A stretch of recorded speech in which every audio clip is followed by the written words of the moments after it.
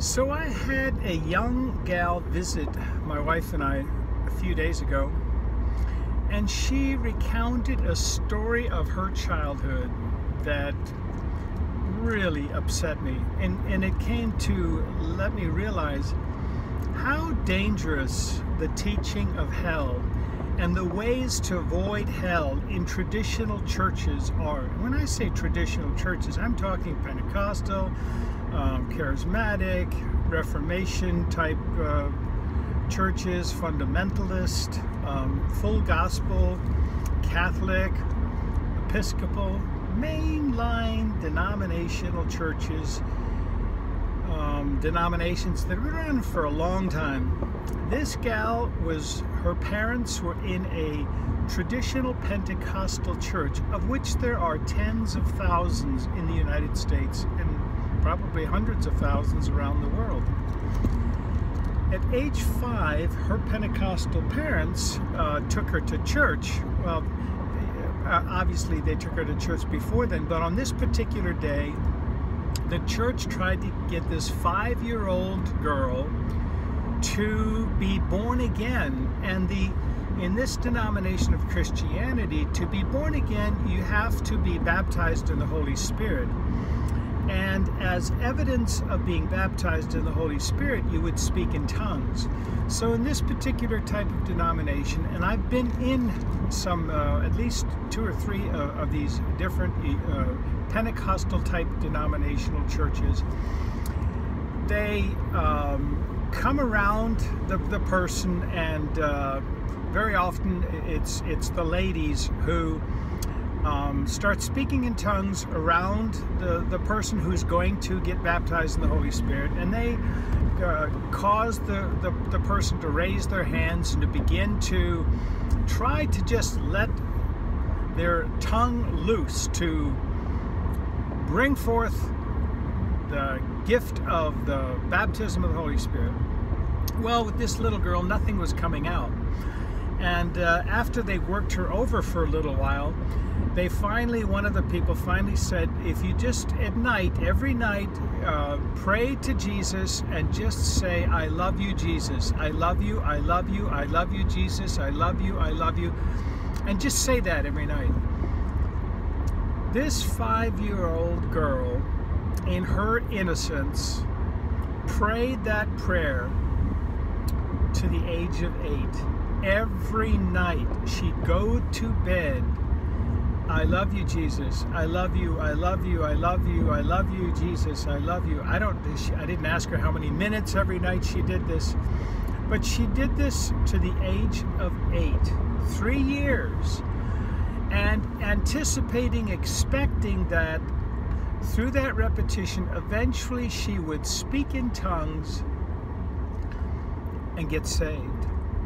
But prior to her speaking in tongues, she was not saved, and she was destined to be burned alive forever and ever.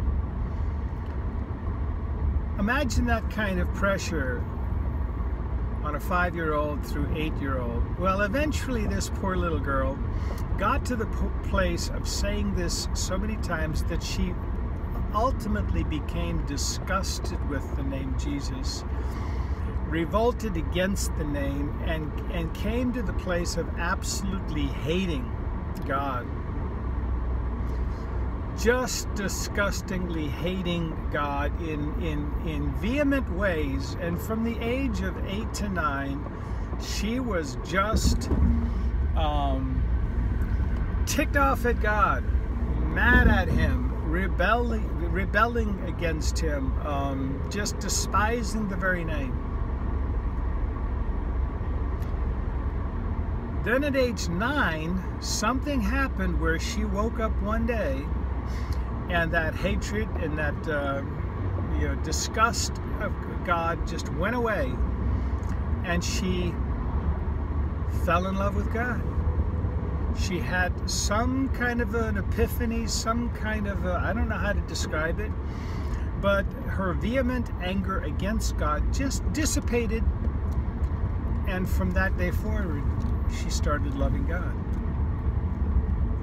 That poor girl was tormented those three years.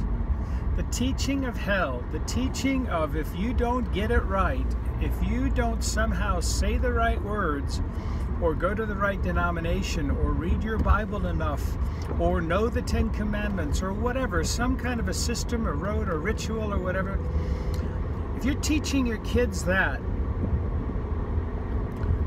and hinging upon them their fate with those words, you are in danger of terrorizing your kids. Let me give you a simple example of how this stuff works, how easily it is we can, where we manipulate our kids to the place where ultimately maybe we just be, are, become absolutely disgusted with God instead of drawing close to God. I was at a uh, yard sale not too long ago and uh, there was a lady that was running it and she had five kids. I'm guessing she was catholic. I don't really know but you know just it, i just kind of got that sense. And somewhere when i was checking out um, we got to discussing some things that were spiritual in nature. I don't remember exactly what it was.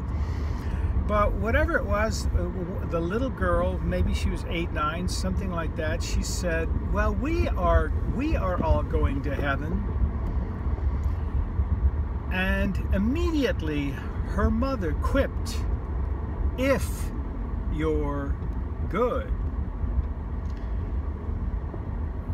Dear lady, whoever you are, and dear person who's listening to this video as that I'm speaking as I'm driving home from store, um, you put that little injunction in a small child that you're you go to heaven because you're good and you go someplace else and in western theology in western tradition and in church tradition if you go into the in my in my town the nine churches in, in our town if if you uh, are talking about going somewhere if you're talking about not going to heaven just about everybody in that church will in their mind mean that you're going to another place called hell. You got two choices.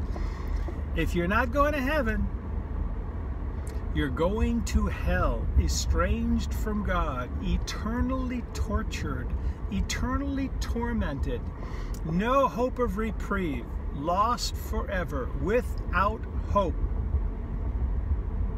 So when you tell your children